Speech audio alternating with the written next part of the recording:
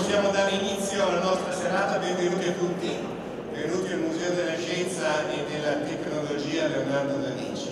Eh, è una serata bella, particolare, eh, un bellissimo parterre di ospiti, eh, un grande artista che per la prima volta in Italia, per la prima volta naturalmente quindi a Milano e nel nostro museo, porta eh, delle creature immaginarie e straordinarie.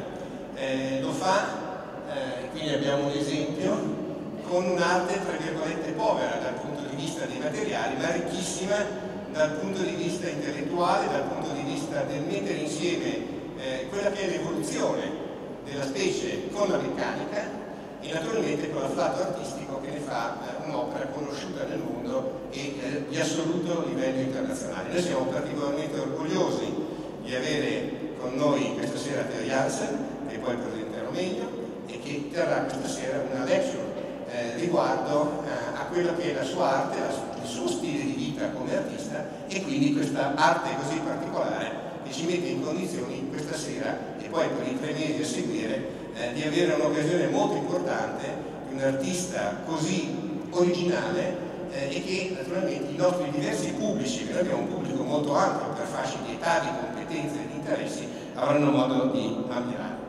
Eh, naturalmente eh, io devo, e beh, lo faccio con grande piacere, dei ringraziamenti a chi ha reso possibile questa iniziativa.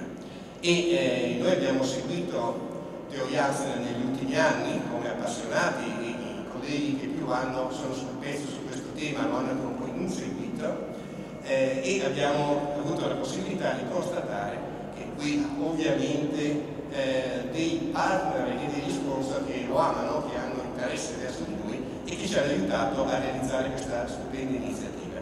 Primo fra tutti Otmar Piguet, che come sapete è un brand eh, di livello internazionale assoluto nel mondo dell'orologeria, uh, eh, che ha voluto essere il main sponsor di questa iniziativa, di questa edizione, e che qui è rappresentata da Linga Angarat, che eh, questa mattina ha anche eh, detto cose importanti e credo ribadirà eh, questa sera prima della lecture di Teo. Eh, e li ringraziamo naturalmente perché il sostegno è stato particolarmente generoso e quindi fondamentale per il risultato finale. Eh, con questa mostra inizia anche un altro percorso eh, di rapporto di collaborazione con la, la, la, Fondazione IPSA per la ricerca scientifica, è un'iniziativa che eh, durerà tutto l'anno, questo naturalmente sarà l'episodio più rilevante, ma avremo altre occasioni di collaborazione insieme, che qui eh, è rappresentata dalla direttrice Silvia Misiti, che di nuovo ringrazio, eh, e che eh, come fondazione dedica una grande attenzione alla divulgazione scientifica dei programmi fra arte e scienza, e quindi qua ci siamo eh, siamo inoltre molto grati alla comunità olandese, senza la quale non saremmo riusciti a costruire questa iniziativa. Eh, l'iniziativa è stata sostenuta attraverso KLM, che è Official Career della mostra, è rappresentata da Simona Cornioli, eh, che ne è il Marketing Coordinator, eh, e godiamo del contributo della eh, Mondrian Fund, che ha tra le sue finalità quella di promuovere l'internazionalizzazione dell'arte naturalmente eh, è indispensabile, è stata indispensabile, preziosissima la partecipazione dell'ambasciata del Regno dei Paesi Bassi e quella del console generale Johan Verbon che poi ci dirà quello che riterrà giusto e opportuno per parte sua in questa circostanza. E infine dobbiamo un particolare ringraziamento al team internazionale di Mediaforce di Koji Mielima che ha prodotto la mostra collaborando con lo staff di exhibition design del museo, eh, devo dire, non dovrei dirlo perché me la gioco in casa, quindi sembra che me la suoni e me la canti, ma l'exhibition design è venuto particolarmente bene e posso dire è all'altezza della qualità di quello che viene esposto insieme e grazie quindi ad Alex Bonaccorsi del museo che ha dato segno delle sue capacità in questa circostanza. Eh, io non rubo tempo perché al di là del piacere eh, questi ringraziamenti eh, siete qui non per ascoltare me, ma per ascoltare Teo Jansen, ma quindi prima lascio la parola al console generale del Regno dei Paesi Bassi per quello che lui riterrà opportuno dirci e poi a Piguet per la possibilità eh, di dare segno tangibile e qualitativo a tutta l'audience della natura del loro rapporto di collaborazione a voi il microfono. Grazie, buona serata a tutti.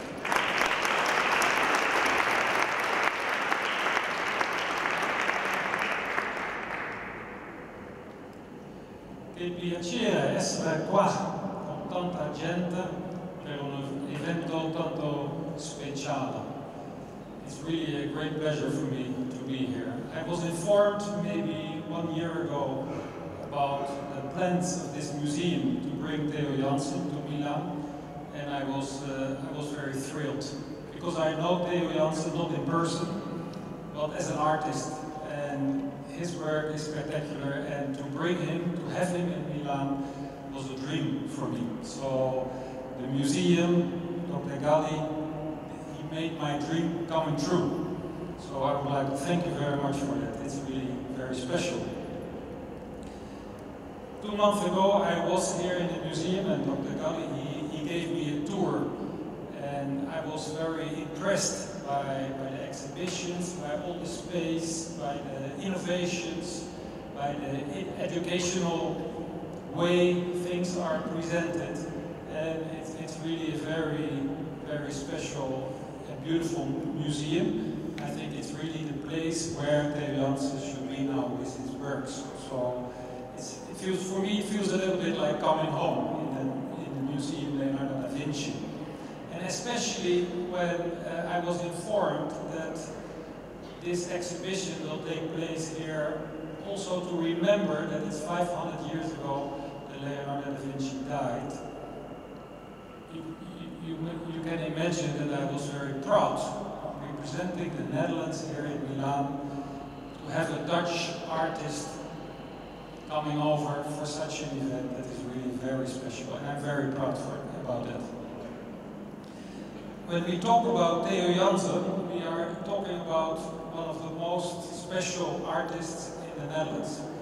He is having exhibitions all over the world, traveling around the world because everybody wants to have him. And uh, he is in television shows. If you go to YouTube or to internet, you will find him all over the place. He is he's very much well known. So it's really great that you have taken the opportunity and the time to come to Milan. With the use of ordinary PVC pipes, Theo creates objects which transform into new forms life. So he's like a creator. These are his own words. He is creating new, new forms of life. And it's, it's amazing to see how the wind literally blows life into these beach animals and how they graciously start to move. His work is very innovative, but also very inclusive, as Dr. Galli already mentioned. Doesn't matter how old you are, whether you are very young or old like me, or whether you are highly educated or not educated, everybody loves the works of Theo because they have a very open character. And I was very happy to see this morning that there was a huge article in the Corriere della also on the, the front page, and I noticed that also the Italians will love Theo Jansen. Now I want to close, and I also would like to thank uh, those who have made this exhibition possible. First, of course, Dr. Galli, together with his amazing team who have worked very hard to make this exhibition possible. Also sponsors like KLM and the Mondrian Fund in the Netherlands and of course also Audemars Piguet and the IPSA Foundation. Without those sponsors these kind of events would not be possible. Last but not least, I also would like to thank again Theo Jansen for coming over and making all this possible. I hope that in the coming time many Italians will be able to visit the exhibition. For this evening it's already uh, sold out, uh, but in the, in the coming time the, the museum is organizing different events during the day, but also some Dutch evenings, as the museum is calling it, Dutch evenings or Dutch nights, Dream Beast, and the first of that will be already the 7th of March. So uh, I hope that many children, schools, uh, not many people here will be able to visit. Thank you so much for being here, and thank you for your attention.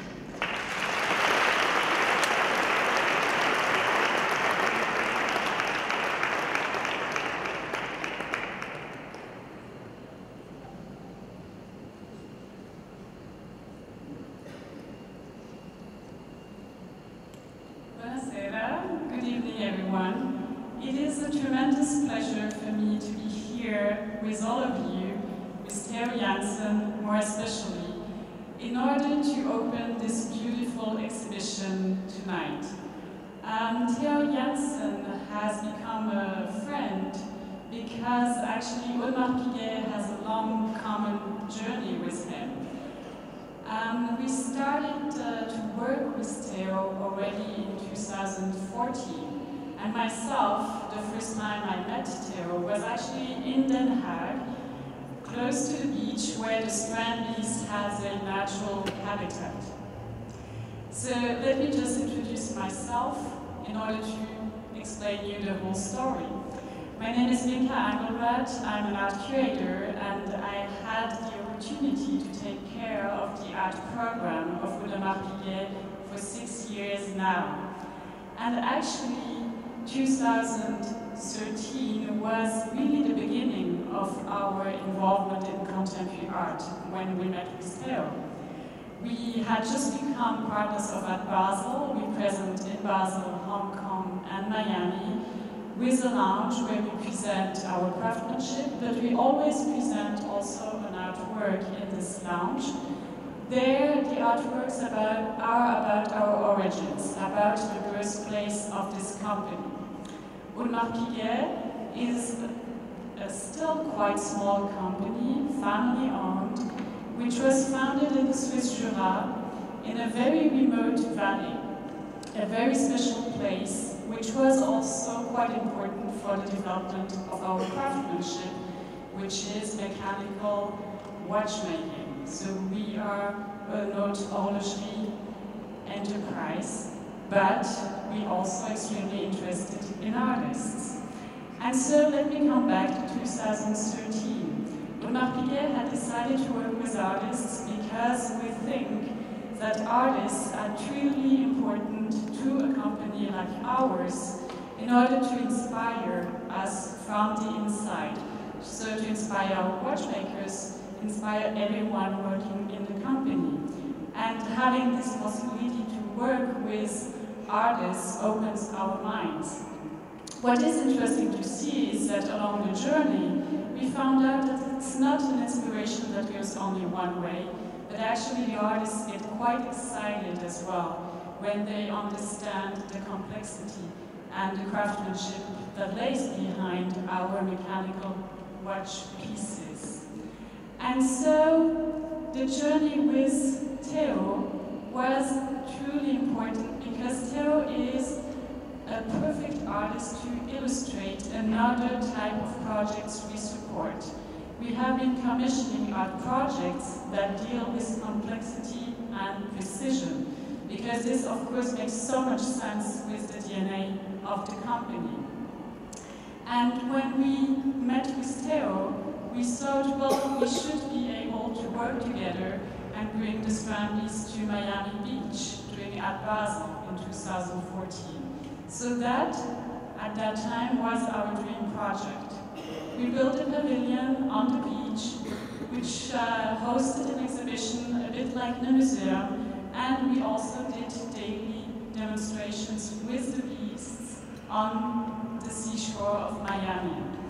Now, of course, the journey with of Theo has continued all around the world, with exhibitions in museums in the US, in Asia, lately in uh, Singapore at the Art and Science Museum, and today here in order to present the wonderful work of Theo Jansen to this audience here in Italy. And as Theo says, the walls between art and engineering are only in our minds. They don't really exist. And I think that when you look at his work, you really get this profound understanding. So thank you very much, all of you, to be here tonight for this very special moment. And a very big thank you also to the museum here, especially to, of course, Fiorenzo Galli.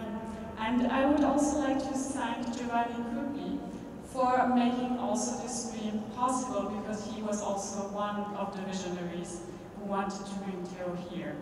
And thank you, Theo, for this wonderful journey.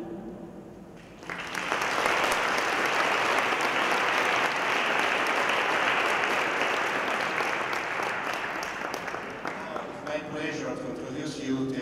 Jansen and his lecturer. Theo, the stage is yours. Good evening, ladies and gentlemen. Buonasera. You want to have the microphone? Yes, here you are.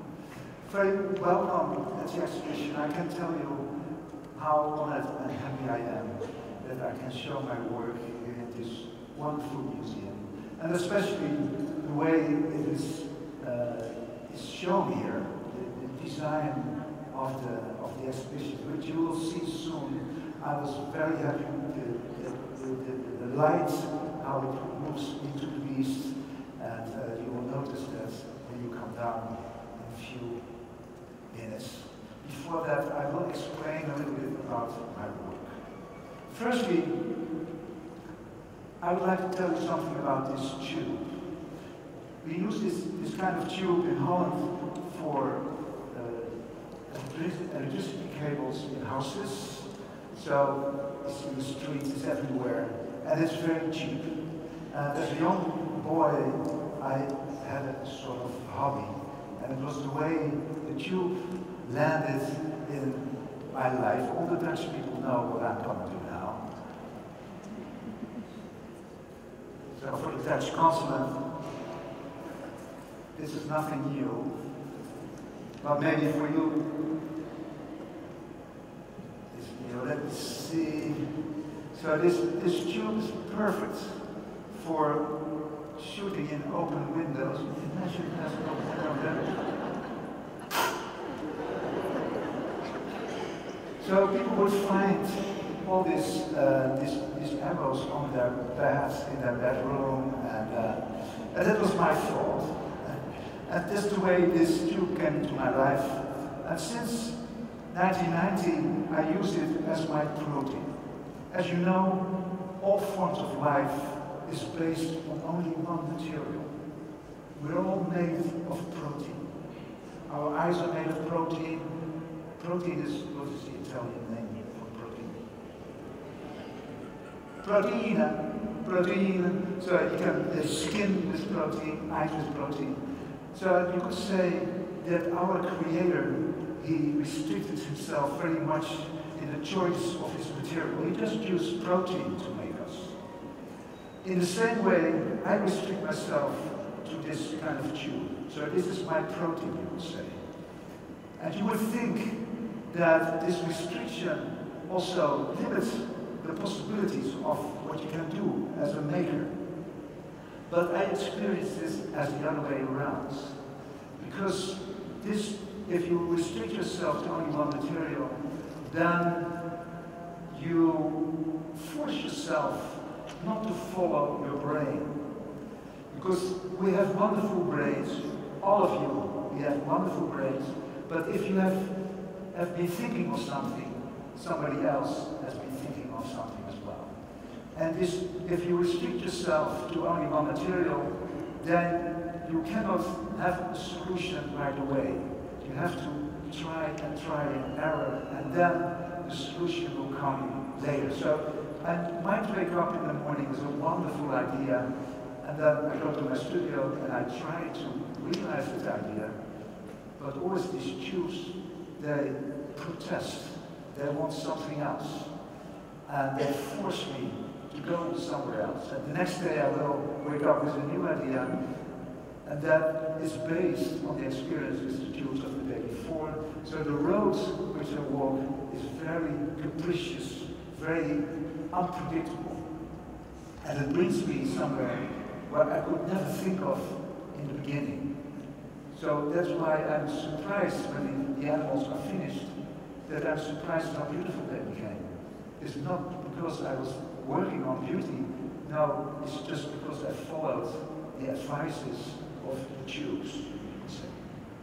Now I would like to show you a small movie which uh, illustrates the history of the Strandbeest evolution because they evolved during the years, they become better and better surviving.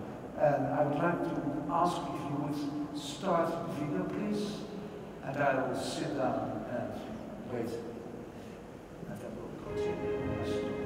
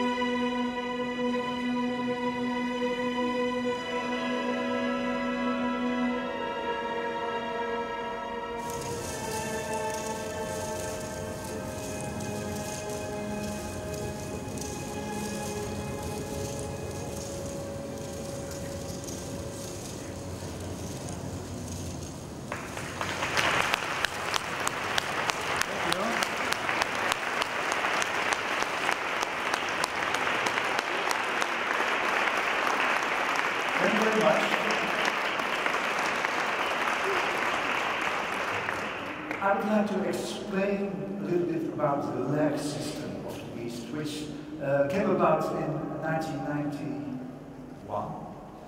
Uh, so in all Strandbeests, you will find a sort of backbone, which makes a circular movement like this.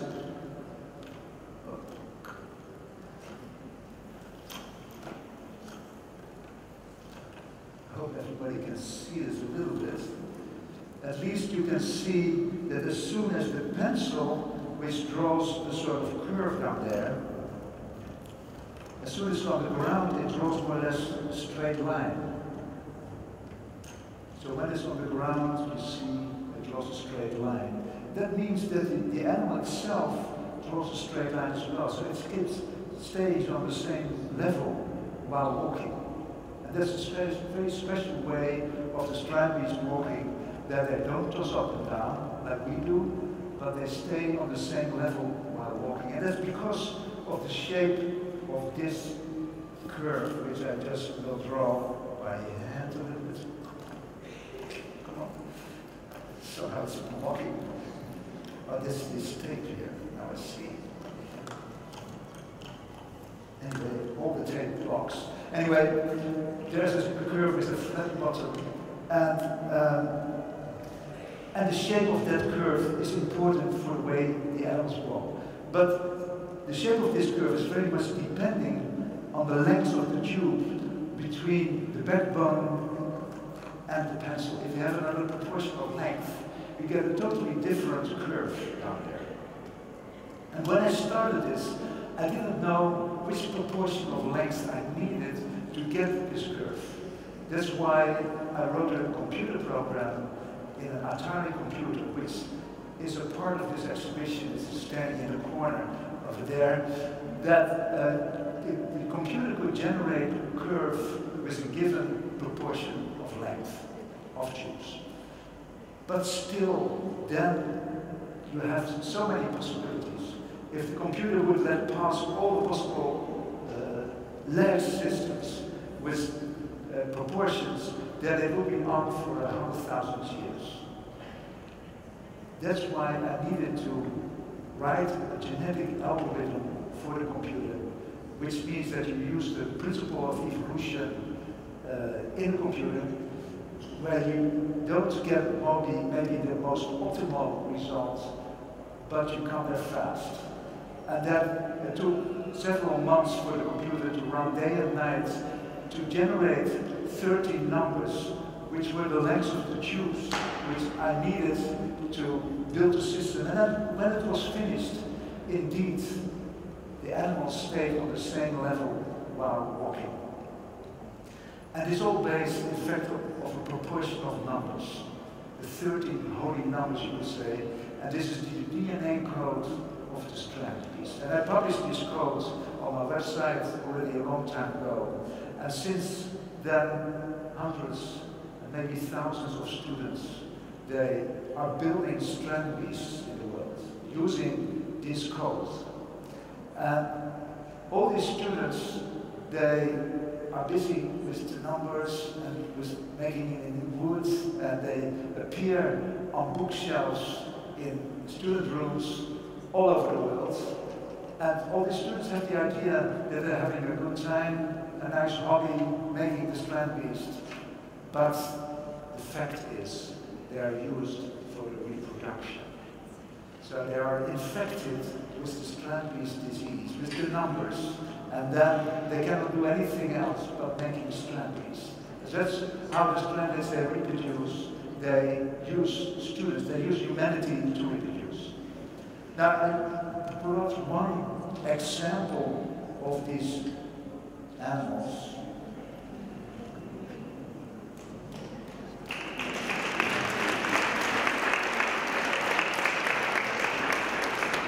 So this is uh, an made by a guy in Amsterdam called Art Lagerfeld.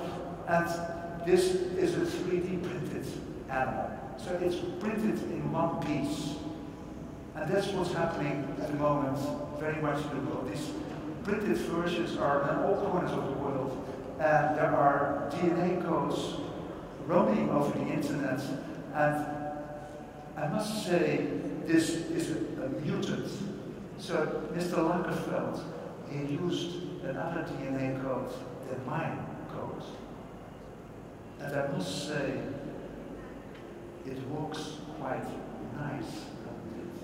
Maybe it's a better code than my code.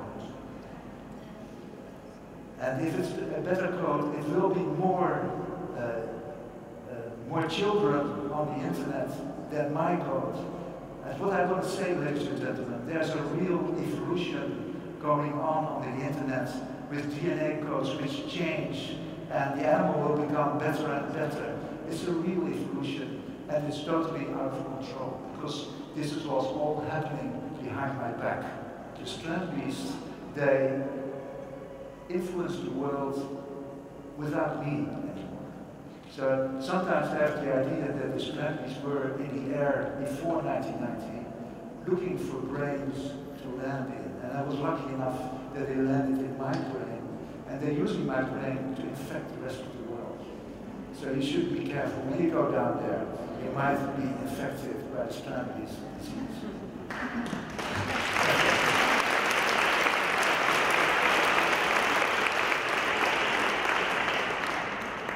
So I would like to tell you something about the neural system of the beast.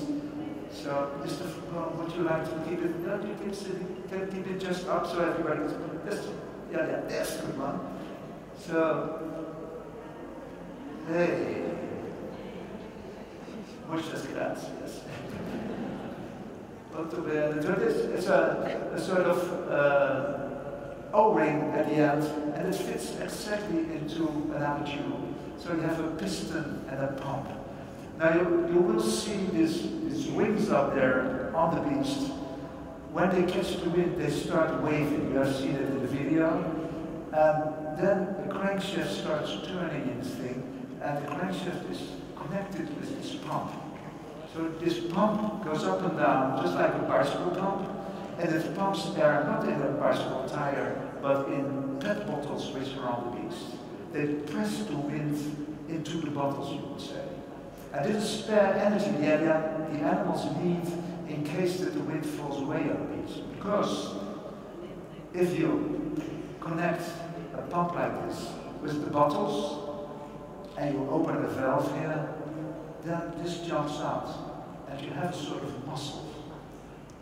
A muscle is nothing but an object which becomes longer or shorter on command. And the command is given by a valve which opens here, that it jumps out, and the valve you can see as a nerve cell which triggers the muscle. Now, I have a nerve cell here. This is a nerve cell, and maybe you, is the, uh, the camera can, yes, come close, close, close, close, close. So, I take off the top. If I blow air in here, the air goes in here, it comes out here. So you have, this is connected. But if I push in this piston here, it's blocked. So this is nothing but a valve. Open, close, open, close. This valve is controlled by a small piston which is under here. So if I blow here, you see that it pushes this piston in here and closes the valve, right? Now, it's going to be more technical, right? So, if you see this as the input and this is the output, the output is opposite from the input. And I see everybody knowing it, but I'm afraid I will have to be more clear to you. And if you see this as a person, look at this as a person. And this is the mouth, and this is the ear. Then the mouth says the opposite from what it hears. So if it hears there's air, it closes here, the mouth says, no, there's no air. So that's why I call this person a liar. It says the opposite from what it hears. Now, imagine that Mr. Bone is a liar. He's not, but let's imagine and Dr. Galli is a liar. I'm a liar, anyway. So, and I say to Dr. Galli, yes, you are a liar. What did you say to Mr. Verboom? He, he says no. You hear no, that's what you say to me. I hear yes, and I say no. So in this conversation of three liars, I changed my opinion. I started off with a yes, and they ended up with a no. And that's what you have with an uneven number of liars. Then you have a so-called dynamic system. With two liars, you can say the same thing. You have a static system, but with an uneven number of liars, you have a thing which changes all the time. And I have three liars here.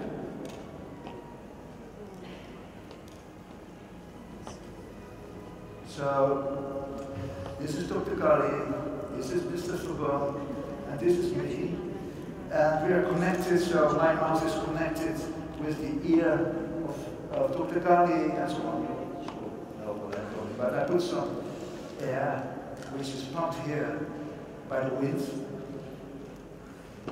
And let's see what the liars have to say to each other. They don't say anything. Because there's no air anymore in the so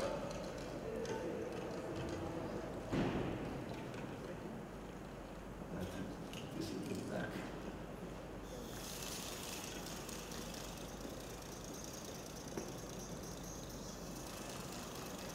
So they're saying yes and no, just like we did. And as you know, you can see uh, a yes as a one and a no as a zero. With these kind of liars, you can switch zeros and ones, just like in a computer. So what you see here is the future of the Strandbeest brain. And the brain can take decisions based on the outer information given by senses, like the sand feeler, the wind feeler. And they give information to the brain, and the brain can take decisions uh, to, to steer the muscles what to do.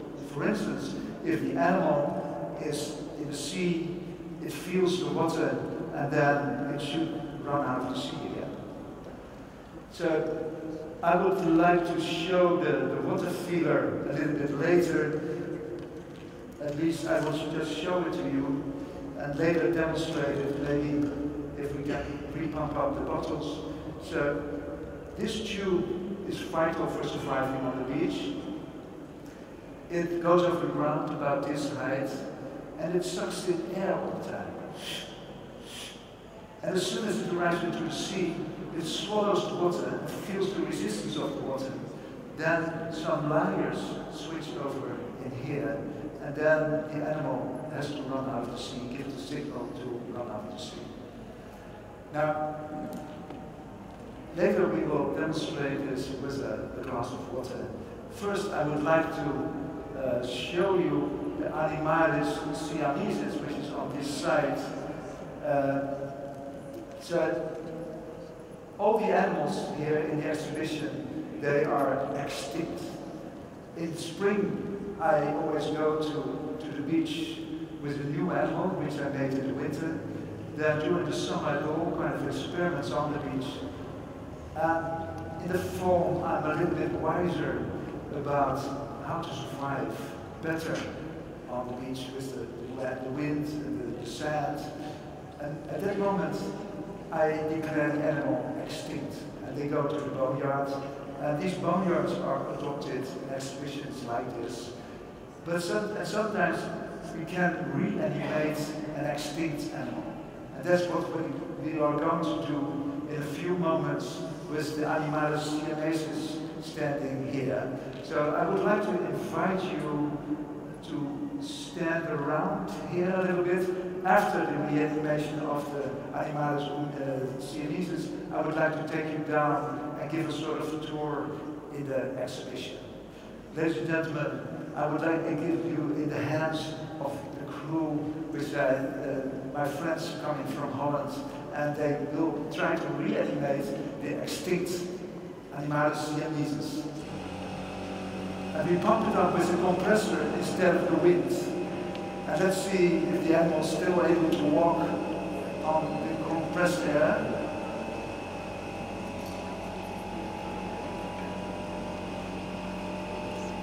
I was going to move the, the okay.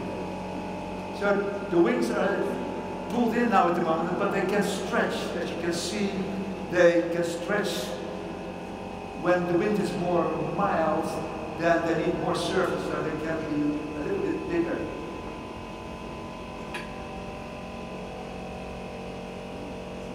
Yes.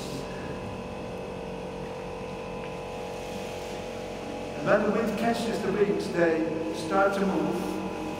It's a little bit, yeah, it's happening.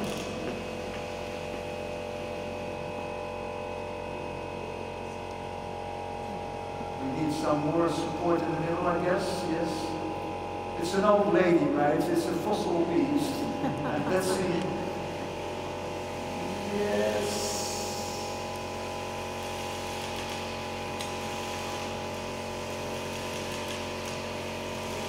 So this way it pumps up the bottles with air.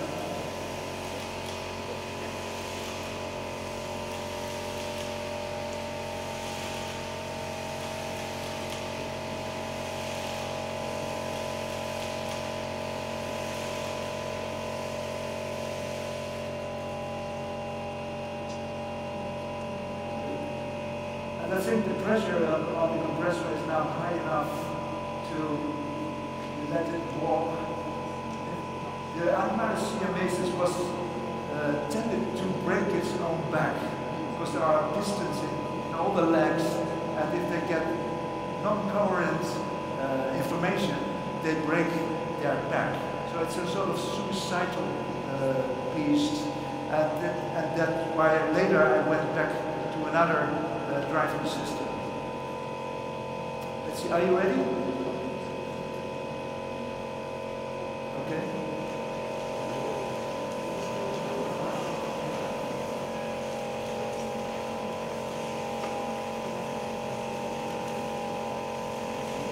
So there are pumps here which push the shoulders apart of the beast. And so there are signals are given by nerve cells which are connected with the crankshaft.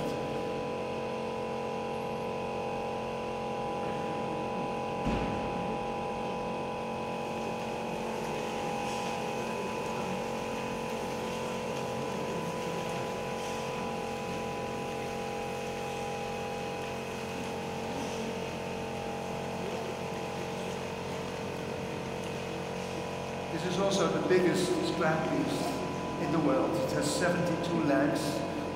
And for me, it was not very practical on the beast because I always need people to operate this on beast. So later, I went to the smaller beasts again. Okay, thank you very much from my friends. Thank you for the museum. So I'd like to take you all down to, uh, to show some other beasts and the, the exhibition. Built up so beautiful here